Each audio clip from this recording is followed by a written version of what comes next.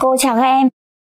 Cô sẽ giúp các em tìm hiểu tiếp những câu hỏi trắc nghiệm mà liên quan tới phần lịch sử Việt Nam trong một năm đầu sau cách mạng tháng 8. Từ mùng 2 tháng 9 năm 1945 đến trước ngày 19 tháng 12 năm 1946, tức là trước ngày toàn quốc kháng chiến các em ạ. Và những câu hỏi ờ, của phần này ờ, với những cái ờ, yêu cầu và những cái giải thích cô sẽ giúp các em nhớ lại được các cái kiến thức cơ bản. Cô biết rằng là một số bạn có gửi đến học mãi những cái thắc mắc và cô rất mong là trong quá trình học các em có gì khó khăn các em cứ chia sẻ trên trang học mãi các thầy cô hoàn toàn có thể giúp các em được. À, các em cùng cô vào câu hỏi thứ nhất. Câu 1 khó khăn lớn nhất đe dọa đến vận mệnh dân tộc ta ngay sau cách mạng tháng 8 là chúng ta chú ý cho cô câu dẫn ở đây là khó khăn lớn nhất đe dọa đến vận mệnh dân tộc em chú ý cho cô như vậy. Chúng ta cùng cô tìm hiểu bốn phương án. Phương án 1 nạn đói và nạn dốt phương án 2 khó khăn về tài chính. Phương án 3 là chính quyền cách mạng còn non trẻ. Phương án 4 là cùng một lúc phải đối phó với nhiều kẻ thù. Ở đây chúng ta lưu ý cho cô là khó khăn lớn nhất đe dọa đến vận mệnh dân tộc.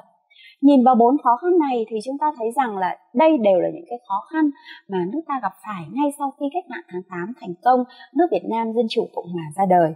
Thế nhưng có lẽ rằng cái khó khăn lớn nhất đe dọa đến vận mệnh dân tộc chính là chúng ta cùng một lúc phải đối phó với rất nhiều kẻ thù các em ạ. Như vậy, phương án đúng của câu hỏi thứ nhất này chính là phương án 4. Các em ạ, à, chúng ta thấy rằng là ngay sau cách mạng tháng 8 với danh nghĩa là quân đồng minh và giải giáp lực lượng phát xít Nhật ừ, nước vào nước ta lúc bấy giờ không chỉ có quân Trung Hoa Dân Quốc này, ờ, quân Anh, rồi ờ, theo sau quân Anh là quân Pháp, ở trong nước thì lại còn lực lượng quân Nhật. Và cái âm mưu đứng đằng sau quân tưởng lại là quân Mỹ, vân vân. Đấy chúng ta thấy rằng là rõ ràng quân tưởng hay là quân Trung Hoa Dân Quốc cũng là một em ạ chúng ta cần chú ý cho cô chuyện này à, các em cùng cô tìm hiểu hiểu câu hỏi tiếp theo nhé. Câu hỏi số 2 những thế lực bên ngoài nào can thiệp trực tiếp hoặc gián tiếp ở nước ta sau cách mạng tháng 8 à, với phần giải thích của câu trên thì chắc chắn câu này chúng ta sẽ trả lời được thôi. Chúng ta lưu ý cho cô này phương án 1 quân Anh và quân Pháp. Phương án 2 quân Pháp và quân Nhật. Phương án 3 quân Trung Hoa Dân Quốc và quân Anh. Phương án 4, quân Anh, Pháp, Trung Hoa Dân Quốc, Nhật và Mỹ. Đấy, tôi vừa giải thích ở câu trên rồi, chúng ta sẽ dễ dàng tìm ra đáp án đúng ở câu 2 chính là đáp án thứ tư. Quân Anh, quân Pháp, quân Trung Hoa Dân Quốc hay còn gọi là quân tưởng. Rồi trong nước còn lực lượng quân Nhật và âm mưu của cái lực lượng Mỹ từ bên ngoài. À, ở đây các em thấy rằng là từ vĩ tuyến 16 ra Bắc thì là quân Trung Hoa Dân Quốc kéo vào nước ta. Theo sau chân chúng là lực lượng phản động của lực lượng tức là cái người Việt lưu vong ờ, sang Trung Quốc đó là lực lượng Việt Quốc Việt Cách hay là Việt Nam Cách mạng Đảng hay Việt Nam Quốc dân Đảng. Âm mưu theo sau quân tưởng à, trở về để lật đổ với chính quyền non trẻ của Hồ Chí Minh. Đấy. rồi từ vị tuyến vào 16 vào Nam ấy các em ạ là hơn một vạn quân Anh theo sau quân Anh lại là quân Pháp với âm mưu quay trở lại xâm lược nước ta một lần nữa. Ừ, tiếp theo nữa là trong nước ta lúc bấy giờ còn khoảng 6 vạn quân Nhật, lực lượng này đang chờ cái lực lượng đồng minh và giải giáp. Và quân Mỹ, nhiều em sẽ thấy rằng là lực lượng này ít xuất hiện trực tiếp nên là câu hỏi ở đây là trực tiếp hoặc gián tiếp các em ạ. Tức là um, đứng đằng sau Trung Hoa Dân Quốc là lực lượng Mỹ các em ạ Đấy, thế là đồng minh. Ở đây chúng ta lưu ý cho cô như vậy. Như vậy đáp án đúng ở câu 2 chính là đáp án 4. Chúng ta cùng cô tìm hiểu sang câu hỏi tiếp theo. Câu 3. Thuận lợi cơ bản nhất của nước ta sau cách mạng tháng 8 là gì? Các em hãy chọn một trong bốn phương án sau. Phương án 1. Chủ nghĩa xã hội đã trở thành hệ thống thế giới. Phương án 2. Phong trào giải phóng dân tộc lên cao ở các thuộc địa. Phương án 3, phong trào hòa bình, dân chủ phát triển mạnh ở một số nước tư bản. Phương án 4, nhân dân ta đã giành được chính quyền, tin tưởng và gắn bó với chế độ. Đây chính là bốn phương án mà chúng ta phải lựa chọn xem phương án nào là thuận lợi cơ bản nhất của nước ta sau cách mạng tháng 8. Các em ạ, cả bốn phương án này đều là những cái thuận lợi, tuy nhiên thuận lợi nhất, cơ bản nhất chính là phương án thứ tư. Nhân dân ta đã giành được chính quyền, tin tưởng và gắn bó với chế độ. Như vậy là chúng ta thấy rằng đây là là cái cái nguyên nhân tức là cái thuận lợi cơ bản nhất bởi vì nhân dân tin tưởng vào chế độ thì chắc chắn là sẽ quyết tâm cùng với đảng và nhận và cùng cả nước cả dân tộc để mà bảo vệ cái thành quả mà chúng ta giành được trong cách mạng tháng 8. Các em cùng cô tìm hiểu sang câu hỏi tiếp theo. Câu 4. Lợi dụng lý do gì mà quân Trung Hoa Dân Quốc và quân Anh, Pháp kéo vào nước ta? Ở đây, ở câu hỏi 1 cô đã giải thích rồi nên chắc chắn rằng bốn phương án sau các em sẽ dễ dàng tìm thấy. Phương án 1 là với lý do là vào giúp Việt Nam độc lập. Phương án 2 là với lý do là với danh nghĩa quân đồng minh và giải giáp lực lượng phát xít Nhật. Phương án 3 là vào giúp Việt Nam khôi phục kinh tế. Và phương án 4 là vào giúp Việt Nam xây dựng chính quyền sau khi độc lập. Đây là bốn cái lý do chúng ta phải chọn ra đâu là lý do đúng nhất. Và các em biết rằng là uh, lợi dụng cái danh nghĩa là quân đồng minh vào giải sát lực lượng phát xít Nhật thì từ vị tuyến 16 ra Bắc là quân Trung Hoa Dân Quốc và nước ta, từ vị tuyến 16 vào Nam là quân Anh và theo sau quân Anh là quân Pháp. Vì vậy, phương án đúng của câu 4 chính là phương án 2. Các em cùng cô tìm hiểu sang câu hỏi tiếp theo nhé. Các em tiếp tục sang câu thứ 5. Nhiệm vụ cấp bách của Đảng, Chính phủ và nhân dân ta sau cách mạng tháng 8 là gì? Một là đối phó với giặc ngoại xâm. Hai là xây dựng chính quyền cách mạng, giải quyết các vấn đề đối nội, chống ngoại xâm nội phản, bảo vệ chính quyền. Ba là tập trung mọi nguồn lực để chống Pháp. Bốn là khôi phục kinh tế. Như vậy là với bốn phương án này thì chúng ta thấy rằng là ở đây cái nhiệm vụ cấp bách của Đảng à, chúng ta thấy rằng là cái nhiệm vụ cấp bách mà trong sách giáo khoa chúng ta thấy rằng là nào là diệt giặc đói giặc rốt vân vân. Thế ở đây thì chúng ta lại không thấy nó nổi rõ như vậy. Thế nhưng chúng ta lưu ý cho cô là các vấn đề đối nội, trong đó có những vấn đề như là giải quyết về nạn đói, giải quyết về nạn rốt, giải quyết khó khăn về tài chính, vân vân. Chúng ta lưu ý cho cô, tức là cách dẫn, cách, các cái dạng câu hỏi khác nhau mà trong đó, cái nội dung câu hỏi đó nó bao hàm cả những cái nội dung nhỏ thì chúng ta cũng phải để ý. Vì thế mà đáp án của câu hỏi thứ năm ở đây chính là đáp án 2 xây dựng chính quyền cách mạng, giải quyết các vấn đề đối nội, chống ngoại xâm nội phản, bảo vệ chính quyền. Đấy chính là nhiệm vụ cấp bách của đảng, chính phủ và nhân dân ta sau cách mạng tháng 8 các em ạ.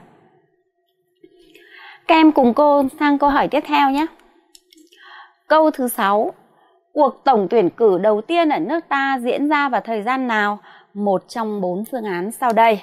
Một, ngày 8 tháng 9 năm 1945 2 là ngày mùng 6 tháng 1 năm 1946 3 là ngày mùng 2 tháng 9 năm 1945 4 là ngày 25 tháng 4 năm 1976 Các em ạ, chúng ta lưu ý với cô là à, ngày 25 tháng 4 năm 1976 thì chúng ta cũng có tổng tuyển cử. Nhưng mà không phải là tổng tuyển cử lần đầu tiên các em ạ hay là ngày mùng 2 tháng 9 thì chúng ta thấy đây là ngày à, à, khai sinh ra nước Việt Nam Dân Chủ Cộng Hòa bằng sự kiện là à, Chủ tịch Hồ Chí Minh thay mặt cho chính phủ lâm thời đọc tuyên ngôn độc lập Đấy. Thế còn ngày mùng 8 tháng 9 năm 1945 là ngày mà Hồ Chủ tịch ký sắc lệnh thành nhập lập Nha Bình Dân học vụ vân vân. Thế thì rõ ràng là các sự kiện thì đều có ý nghĩa cả. Tuy nhiên thì đúng nhất ở đây chính là phương án 2 ngày 6 tháng 1 năm 1946 ờ, chúng ta đã có tổng tuyển cử ờ, đầu, cuộc tổng tuyển cử đầu tiên ở nước ta đã diễn ra vào ngày này. Và ngày hôm đó thì ờ, nhân dân cả nước, hơn 90% cử tri cả nước đã đi bầu cử để bầu quốc hội cơ quan quyền lực cao nhất của nhà nước theo chế độ à, mới trong cái chế độ mới tức là nhân dân à, có quyền làm chủ đất nước và à, có cái quyền lần đầu tiên mà à, công dân Việt Nam ừ, có quyền công dân các em ạ. Thì đây chính là cái sự kiện ngày 6 tháng 1 năm 1946 chúng ta sang câu hỏi tiếp theo nhé. Câu số 7 sau cuộc bầu cử quốc hội, những địa phương nào tiến hành bầu cử hội đồng nhân dân các cấp? Chúng ta cùng cô tìm hiểu các phương án. Một là các địa phương thuộc Bắc Bộ, hai là các địa phương Trung Bộ, ba là các địa phương ở khắp Bắc, Trung, Nam Bộ và bốn là các địa phương Bắc Bộ và Trung Bộ. Chúng ta phải hiểu cho cô là hội đồng nhân dân các cấp ở đây chính là các cấp tỉnh, huyện, xã và các cấp tương đương. Đấy. Thế thì Ờ, nhiều em sẽ nói rằng là sau khi mà bầu quốc hội thì chắc chắn là bầu hội đồng nhân dân các cấp trên phạm vi cả nước. Thế mà nhưng trên thực tế các em ạ, chỉ ở Bắc Bộ và Bắc Trung Bộ chúng ta mới tiến hành bầu được hội đồng nhân dân các cấp thôi. Bởi vì sao? Bởi vì ở nam bộ bây giờ thực dân pháp đã xâm lược và đồng bào không thể đi tiến hành bầu hội đồng nhân dân các cấp được. Vì thế, phương án đúng ở câu 7 chính là phương án 4 các em ạ. Các em cùng cô sang câu tiếp theo nhé. Câu 8 chính phủ đầu tiên của nước Việt Nam Dân Chủ Cộng Hòa có tên là chính phủ gì? Chúng ta cùng tìm hiểu một là chính phủ kháng chiến. Hai là chính phủ liên hiệp kháng chiến. Ba là chính phủ cách mạng lâm thời. Bốn là chính phủ lâm thời. Các em chú ý cho cô là chính phủ cách mạng lâm thời cũng cũng có nhưng ở đây người ta hỏi là chính phủ đầu tiên của nước Việt Nam Dân chủ Cộng hòa. Lúc bây giờ nước ta là có tên là Việt Nam Dân chủ Cộng hòa rồi. Tức là cái chính phủ này phải sau ngày 2 tháng 9 năm 1945 và à, với cái tinh thần à, kêu gọi cái sức mạnh của toàn dân tộc thì à, Chủ tịch Hồ Chí Minh đã ừ, thông qua cái danh sách chính phủ liên hiệp kháng chiến do Hồ Chí Minh đứng đầu đấy và cái chính phủ đầu tiên của nước Việt Nam Dân Chủ Cộng Hòa chính là chính phủ liên hiệp kháng chiến các em ạ. Tập hợp các lực lượng không chỉ là những người đảng viên Đảng Cộng sản mà thậm chí cả những người thuộc chế độ phong kiến cũ ví dụ như là cụ Huỳnh Thúc Kháng vân vân. Ở đây chúng ta lưu ý cho cô, đây chính là một trong những cái chính sách thu hút người tài, thu hút chính sách đại đoàn kết dân tộc mà Chủ tịch Hồ Chí Minh đã thực hiện ngay sau khi cách mạng tháng 8 thành công. Nó thể hiện trong cái danh sách chính phủ kháng chiến các em ạ. Chính phủ liên hiệp kháng chiến ở đây phương án 2 nhé. Chúng ta cùng cô tìm hiểu sang câu hỏi tiếp theo. Câu 9. Hiến pháp đầu tiên của nước Việt Nam Dân Chủ Cộng Hòa được quốc hội, quốc hội thông qua vào thời gian nào? Cô nhắc lại là hiến pháp đầu tiên của nước Việt Nam Dân Chủ Cộng Hòa được Quốc hội thông qua vào thời gian nào? Chúng ta cùng tìm hiểu bốn phương án sau đây. Phương án 1, ngày mùng 2 tháng 9 năm 1945. Phương án 2, ngày mùng 8 tháng 9 năm 1945. Phương án 3 ngày mùng 6 tháng 1 năm 1946 và phương án 4 ngày mùng 9 tháng 11 năm 1946. Các em ạ, hiến pháp đầu tiên của nước Việt Nam Dân Chủ Cộng Hòa đã được Quốc hội thông qua vào ngày mùng 9 tháng 11 năm 1946 và đây là một bản hiến pháp đầu tiên của một nước Việt Nam mới. Đấy và đây cũng thể hiện cái cái sự phát triển của cái hình thái nhà nước của chúng ta. Và phương án đúng ở đây chính là phương án 4. Ngày 9 tháng 11 năm 1946, hiến pháp đầu tiên của nước Việt Nam Dân Chủ Cộng Hòa đã được Quốc hội thông qua. Kem sang câu tiếp theo. Câu 10. Vệ quốc đoàn đổi tên thành Quân đội Quốc gia Việt Nam từ khi nào? cái này thì à, hơi máy móc một chút ừ, nó sẽ giúp chúng ta nhớ về mảng thời gian thôi chúng ta cùng tìm hiểu cô bốn phương án nhé một là tháng 5 năm 1945 hai là tháng 9 năm 1945 ba là ngày 22 tháng 5 năm 1946 và phương án 4 là ngày 22 tháng 12 năm 1946. Các em ạ, tháng 5 năm 1945 thì thực hiện cái cái quyết định của hội nghị quân sự Bắc Kỳ thì cứu quốc quân và Việt Nam tuyên truyền giải phóng quân đã sáp nhập lại thành Việt Nam giải phóng quân. Sau đó thì đổi tên thành vệ quốc đoàn và vệ quốc đoàn lại đổi tên thành quân đội quốc gia Việt Nam chính là ngày 22 tháng 5 năm 1946. Chúng ta cùng cô tìm hiểu sang câu hỏi thứ 11. Để giải quyết nạn đói, Hồ Chí Minh đã kêu gọi nhân dân cả nước với cái khẩu hiệu gì? một là lá lành đùm lá rách.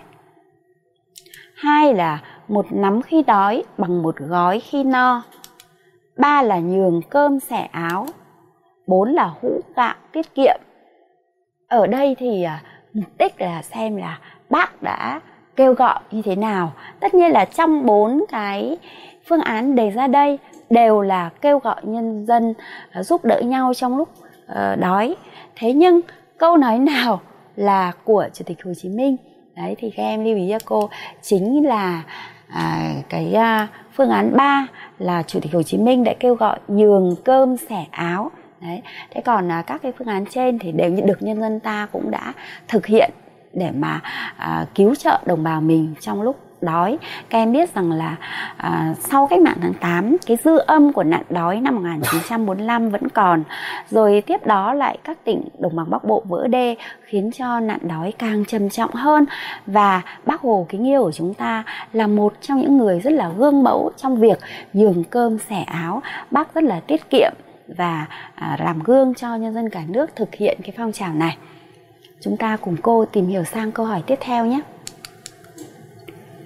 Câu thứ 12 Để diệt giặc rốt, xóa nạn mù chữ, Hồ Chí Minh đã ký sắc lệnh thành lập cơ quan bình dân học vụ vào thời gian nào?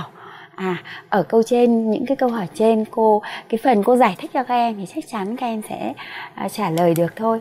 Thứ nhất là ngày mùng 2 tháng 9 năm 45 này, thứ hai là ngày mùng 8 tháng 9 năm 1945, phương án 3 là ngày 23 tháng 9 năm 1945 và phương án 4 là tháng 7 năm 1950.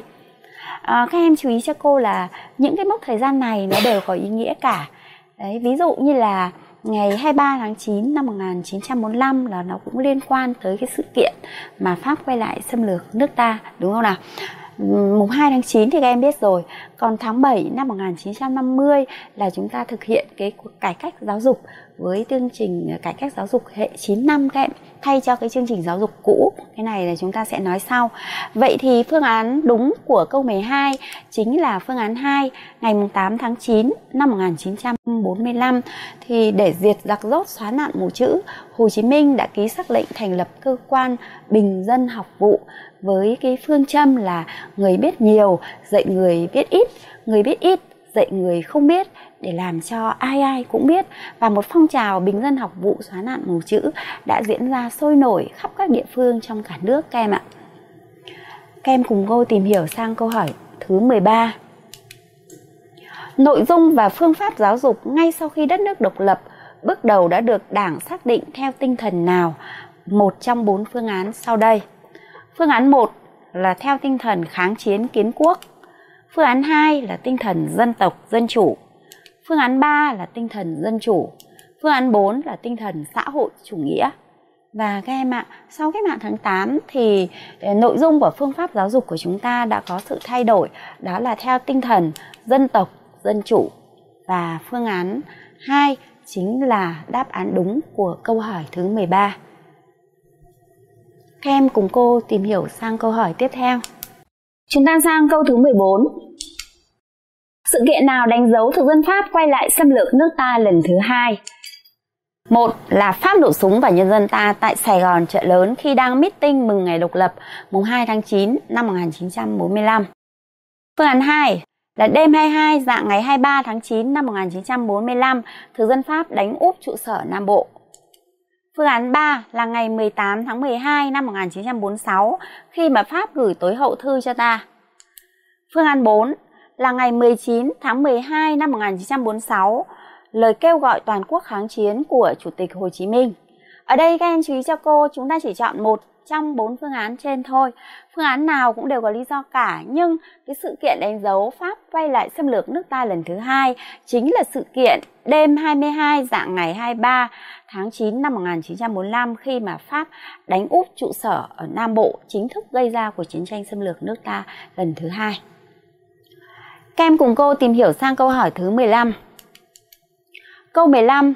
Cuối năm 1945, hàng vạn thanh niên tham gia đoàn quân Nam Tiến nhằm tham gia cuộc kháng chiến chống Pháp tại đâu? Một trong bốn phương án sau. Phương án 1 tại Nam Bộ, phương án 2 tại Trung Bộ và Nam Bộ, Phương án 3 tại Nam Bộ và Nam Trung Bộ. Phương án 4 tại Trung Bộ. Ở đây các em chú ý cho cô là chủ yếu là là chúng ta nhớ về cái mốc khoảng uh, mang tính chất địa lý thôi. Đấy, thế thì ở đây chúng ta lưu ý là nhiều em rất là dễ nhầm là uh, Nam Bộ thế nhưng mà trên uh, thực tế thì nó không chỉ ở Nam Bộ mà nó còn cả cái phía Nam của Trung Bộ nữa. Vì thế phương án đúng ở đây chính là phương án 3 ở Nam Bộ và Nam Trung Bộ thì uh, đã ừ, có cái diễn ra cái cuộc kháng chiến của nhân dân ta chống Pháp và hàng vạn thanh niên ở bên ngoài ờ, uh, vị tuyến 16 gẹm đã uh, gia nhập cơ đoàn quân Nam Tiến tức là tiến về phía Nam nhằm tham gia kháng chiến chống Pháp. Chúng ta sang câu hỏi tiếp theo. Câu 16. Để tránh cùng một lúc đối phó với nhiều kẻ thù, Đảng ta đã có chủ trương gì? Một là hòa hoãn với cả thực dân Pháp và Trung Hoa Dân Quốc. Thứ hai là tạm hòa hoãn, tránh xung đột với quân Trung Hoa Dân Quốc để tập trung đánh Pháp ở miền Nam. Phương án 3. Tập trung lực lượng đánh cả Pháp và Trung Hoa Dân Quốc. Phương án 4. Phối hợp với Trung Hoa Dân Quốc tiêu diệt thực dân Pháp ở miền Nam. Vậy thì bốn phương án đưa ra nhưng chúng ta lưu ý là ở đây là đảng ta có chủ trương để tránh cùng một lúc đối phó với nhiều kẻ thù. Vì thế mà đảng ta đã có chủ trương tạm hòa hoãn, tránh xung đột với quân Trung Hoa Dân Quốc tức là ở vĩ tuyến 16 ra Bắc ấy để tập trung lực lượng đánh Pháp ở miền Nam hay có thể nói rằng giai đoạn đầu này chúng ta đã chủ trương là tạm hòa hoãn nơi quân tưởng để tập trung lực lượng đánh Pháp ở miền Nam. Đây cũng là cái cái sách lược của Đảng ngay sau khi ờ, chúng ta phải đối phó với lại nạn dọc ngoại xâm. Chúng ta sang tiếp câu 17. Thực hiện lời kêu gọi của Đảng sau một thời gian ngắn, nhân dân ta đã quyên góp được Số liệu xem là số liệu nào đúng nhá. Một là 370 kg vàng, 40 triệu đồng vào quỹ đảm phụ quốc phòng, 20 triệu vào quỹ độc lập. Đấy là phương án 1. Phương án 2, 470 kg vàng. Phương án 3 là 50 triệu đồng vào quỹ độc lập. Phương án 4 là 370 kg vàng trong tuần lễ vàng. Các em chú ý cho cô là uh, thực hiện cái lời kêu gọi của Đảng và Chính phủ để mà giúp đất nước trong lúc khó khăn. Các em biết rằng là đất nước ta lúc bấy giờ rất là khó khăn. Tài chính thì không có uh, ngân khố nhà nước thì trống rỗng. Uh, cả nước chỉ có hơn một triệu đồng trong đó một nửa là tiền sách không tiêu được. Và cái tinh thần yêu nước của nhân dân đã được thể hiện sau khi mà đảng kêu gọi nhân dân.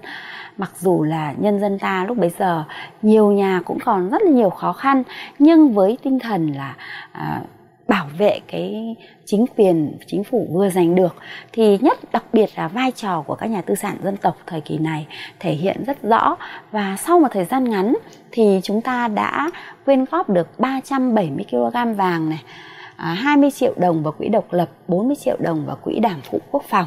Và phương án đúng của câu hỏi này chính là phương án 1 các em ạ. Chúng ta cùng cô tìm hiểu câu hỏi tiếp theo.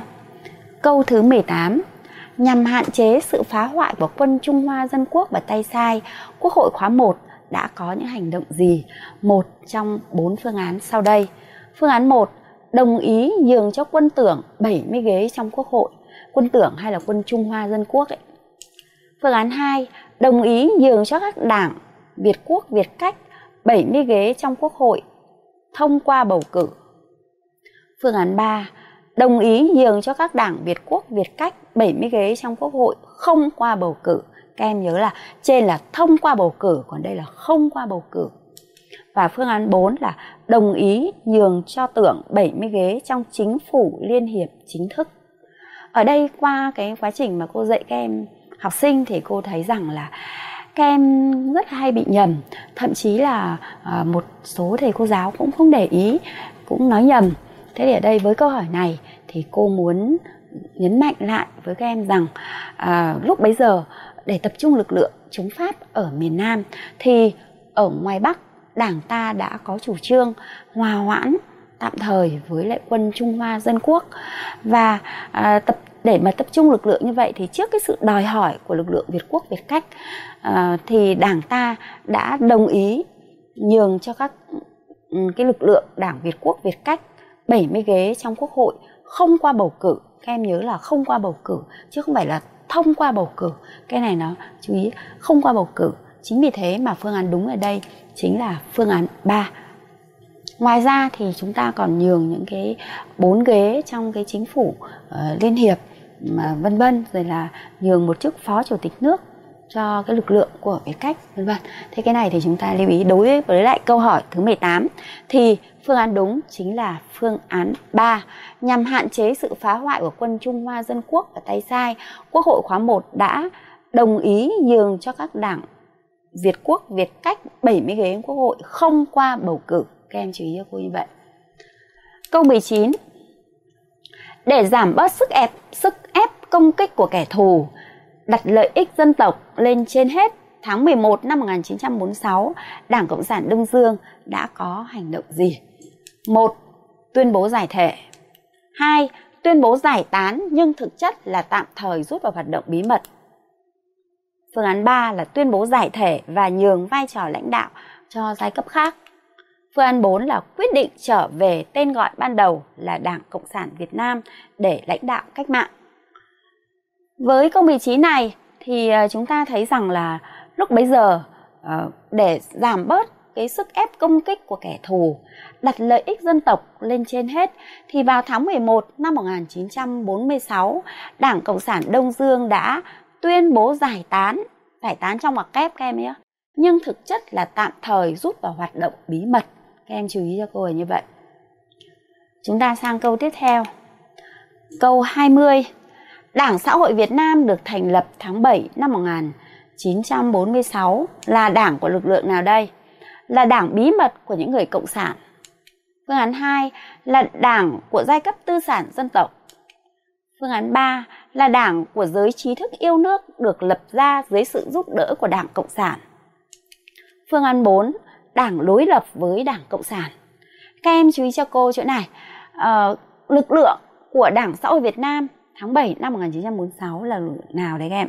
Thì phải nói rằng đây là đảng của giới trí thức yêu nước được lập ra dưới sự giúp đỡ của Đảng Cộng sản các em ạ và những trí thức yêu nước đã tập hợp vào Đảng Xã hội Việt Nam và đảng này lại được sự giúp đỡ của Đảng Cộng sản để hướng những người trí thức yêu nước tham gia cuộc kháng chiến chống Pháp sau này. Và phương án đúng chính là phương án 3. Chúng ta sang câu hỏi tiếp theo.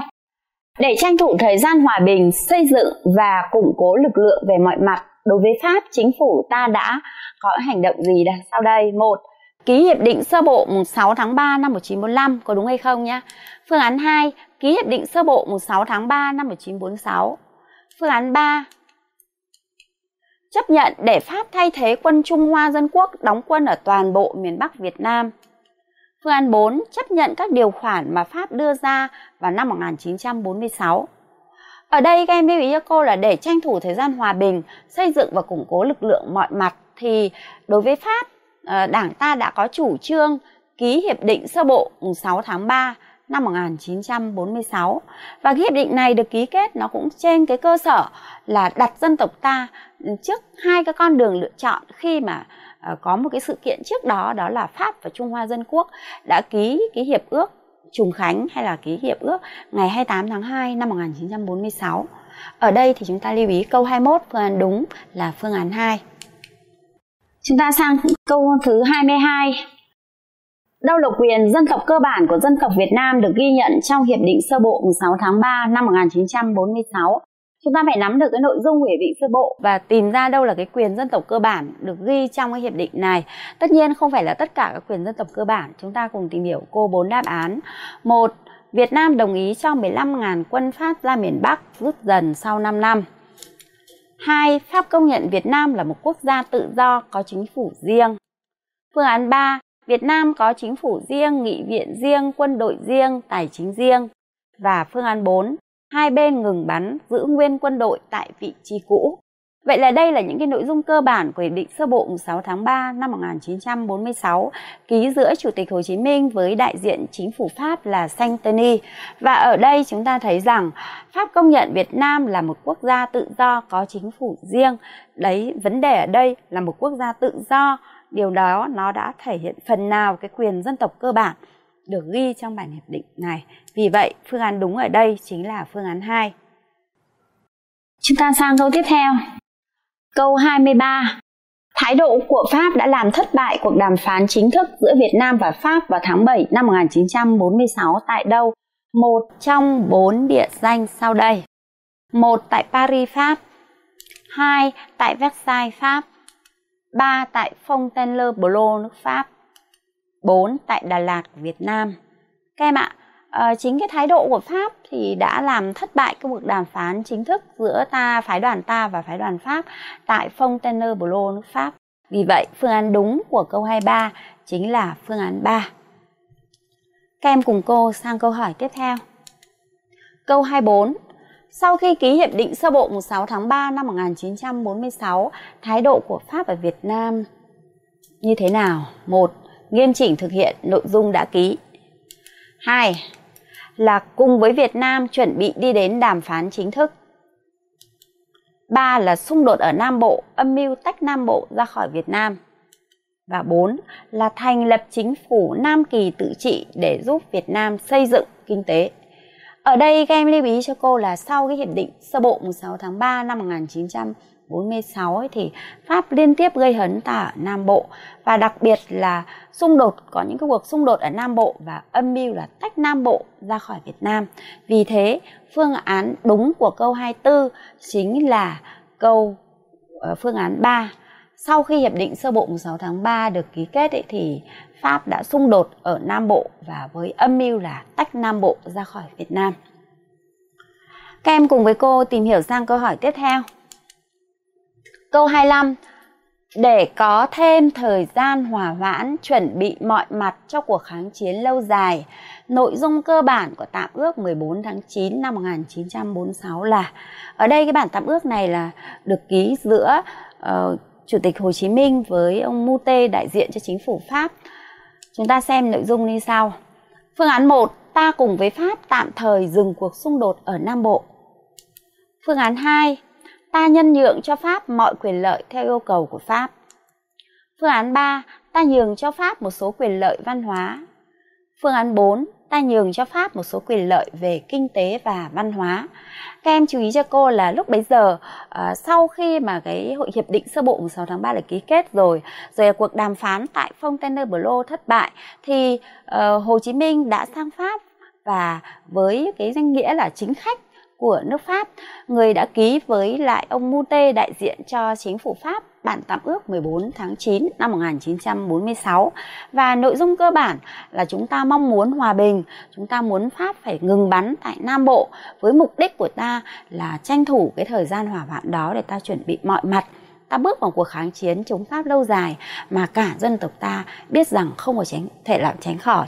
Và tất nhiên ta phải hy sinh một số cái quyền lợi trước mắt.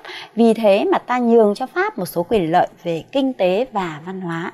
Và phương án đúng của câu 25 chính là phương án 4 chúng ta sang câu 26 Việc chính phủ ta ký với Pháp hiệp định sơ bộ mùng 6 tháng 3 và tạm ước 14 tháng 9 đã có tác dụng gì? Một trong những nội dung sau đây. Một là tranh thủ được sự ủng hộ quốc tế. Phương án 2 là tranh thủ sự ủng hộ của nhân dân trong nước. Phương án 3 là tránh phải đối phó cùng một lúc nhiều kẻ thù, tranh thủ thời gian hòa bình để chuẩn bị mọi mặt.